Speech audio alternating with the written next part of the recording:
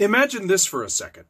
One man with total control of billions of people's stolen data, all their secrets, their lives, their futures.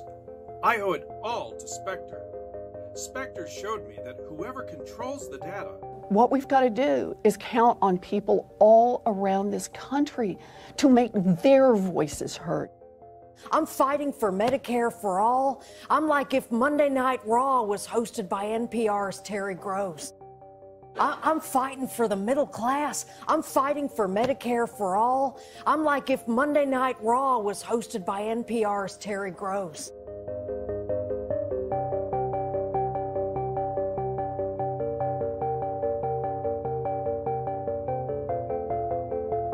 especially our friends who are lesbian, gay, bisexual, or transgender. I visited with the families of many of the victims on Thursday, and one thing I told them is that they're not alone. The American people and people all over the world are standing with them, and we always will.